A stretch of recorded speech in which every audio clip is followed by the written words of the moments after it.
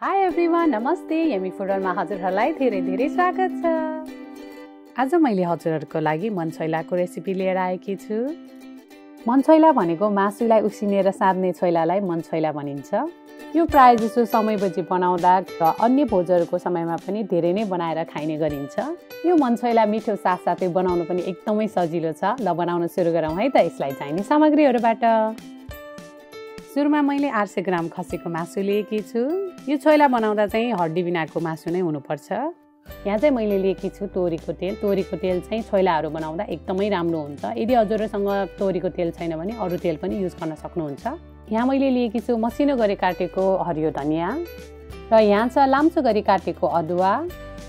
यहाँ छ हामीसँग लसुन। मैले लसुनलाई चाहिँ लाम्चो गरी काटेर पनि राखेकी छु। एक साइडमा यो चाहिँ हामी सान्ने बेला राख्छौँ र अर्को चाहिँ हामी फलमा पिन्नको लागि युज गर्छौँ। यसमा चाहिँ हामी अलिक बढी नै लसुन युज गर्छौँ। त्यसै गरी हामीसँग छ बेसार स्वादअनुसार नुन मेथी रातो धुलो खुर्सानी। यदि धेरै पिरो खानुहुन्छ भने मात्र युज गर्नुहोला। यहाँ चाहिँ हामीसँग पिरो सुकेको खुर्सानी यो चाहिँ टिमुर हो। मैले यहाँ दुईवटा टमाटर पनि लिएकी छु। अन्तमा हामीलाई हरियो लसुन पनि चाहिन्छ। हेर्नुहोस् त मैले चाहिँ यसलाई आधा गरी राखेकी छु। यो लामो भएर। यो लसुनलाई हामी पछि मसिनो गरी काट्छौँ। अब एउटा भाँडोमा पानी राखेर हामी पानी उमाल्नलाई छोड्छौँ। मैले हेर्नुहोस् त पानी पनि उमाल्न राखिसकेकी छु। अब यो पानीमा हजुरहरूले थोरै बेसार र अलिकति नुन पनि राखिदिनु होला ताकि हाम्रो मासु छिटो पाकोस् भनेर हामी यो गर्छौँ। अब यो पानीमा हजुरहरूले मासु राखेर उसिन सक्नुहुन्छ। मासु राख्नु हुँदाखेरि चाहिँ हजुरहरूले बिस्तारै मासु राख्नु होला किनभने यो पानी ताप्न सुरु भइसकेको छ। यसमा चाहिँ पानी थोरै नै राख्नुपर्छ। सबै मासु राखिसकेपछि हजुरहरूले बिर्को लगाएर मजाले यसलाई उसिन्नु होला हजुरहरूले प्रेसर कुकरमा पनि यसलाई दुई तिन सिटी लगाएर पकाउन पनि सक्नुहुन्छ। मैले उसिन्न राखेको दस मिनट भयो हजुरहरूलाई खोलेर पनि देखाउने छु। ल हेर्नुहोस् त मजाले यो पाकिरहेको छ। म यसलाई अब एकचोटि सबै मासुहरूलाई पल्टाउँदैछु। जसरी मैले भिडियोमा देखाएकी छु हजुरहरूले पनि यसरी नै पल्टाउनु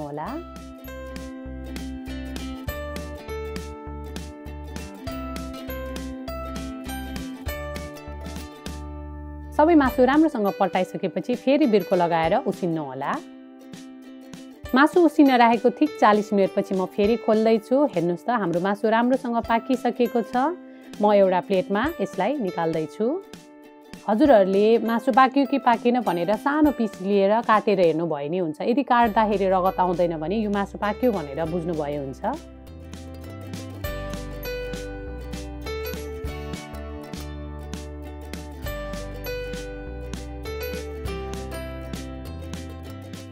अब यो मासुलाई एकछिन कतै राखेर थोरै चिसाउनको लागि हामीले राख्नुपर्छ।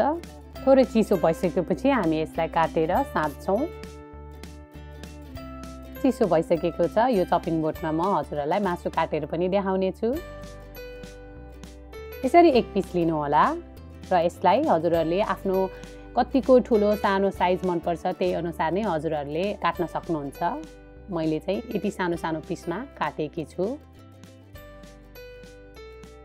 यसरी नै बाँकी सबै मासु काट्नु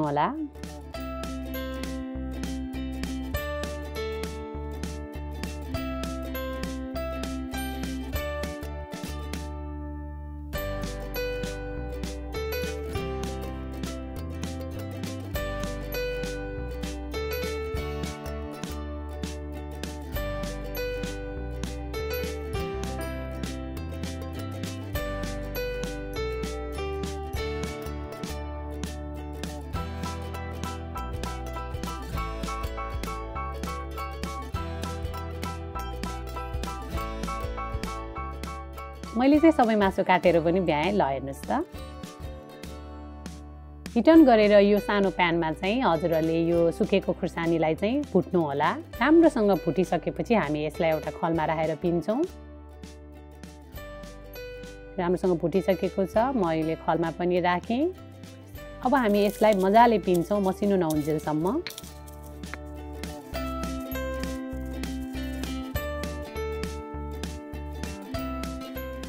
यतिको खुर्सानी पिनिसकेपछि हामी यसमा टिमो राखेर पनि पिन्छौँ।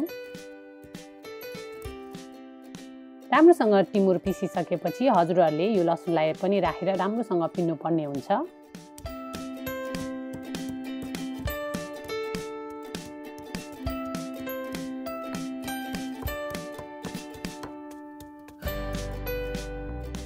पिन्नुपर्ने मसलाहरू सबै पिसेर पनि हामीले ल्यायौँ अब हजुरहरूले हरियो लसुनलाई पनि काट्न सक्नुहुन्छ।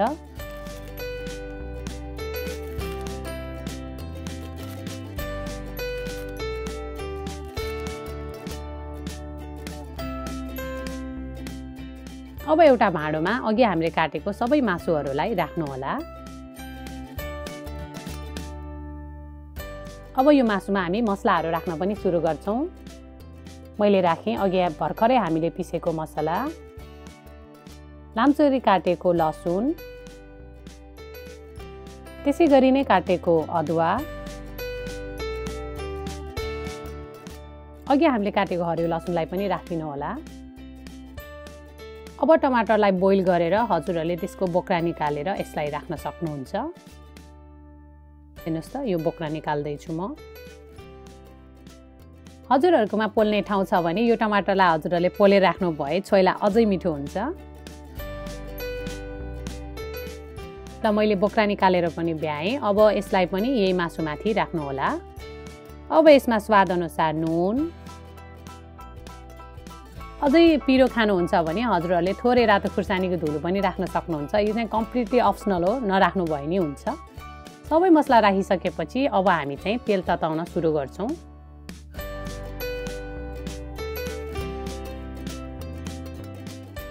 तेल ताप्न सुरु भइसकेको छ। यसमा म मेथी फ्राउन राख्दैछु।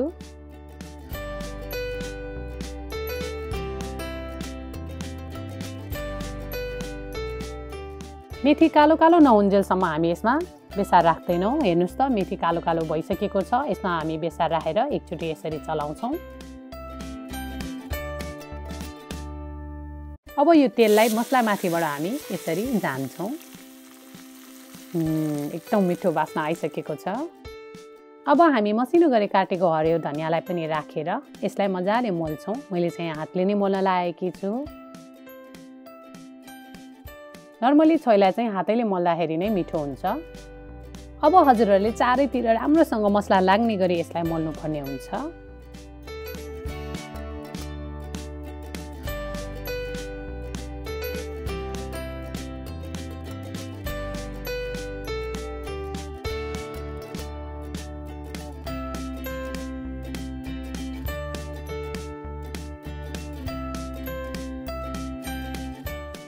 राम्रोसँग मोलिसकेपछि मनछोइला रेडी हुन्छ। हेर्नुहोस् त राम्रोसँग यो मोलिसकेको छ हजुरले देख्न पनि सक्नुहुन्छ। अब यो मनछैला म सर्भ गरेर पनि देखाउने छु हजुरहरूलाई। नर्मली छोइला चिउरासँग सर्भ गरिन्छ त्यही भएर मैले पनि यहाँ चिउरासँग नै सर्भ गर्दैछु। म हजुरहरूलाई खाएर पनि देखाउने छु।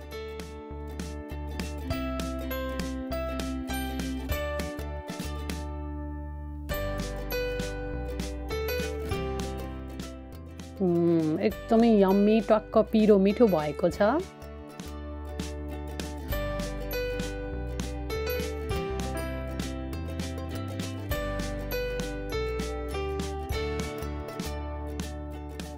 हजुरहरूले पनि ठ्याक्कै यसरी नै घरमा मनछोइला बनाएर साथीभाइ र फ्यामिलीसँग इन्जोय गर्नुहोला। हजुरहरूलाई हाम्रो भिडियो कस्तो लाग्यो? हाम्रो यो सानो प्रयासलाई लाइक सेयर र सब्सक्राइब गरेर सपोर्ट गरिदिनु होला। यस्तै मिठो मिठो रेसिपी लिएर आउने नै छु तबसम्मको लागि ह्याप्पी कुकिङ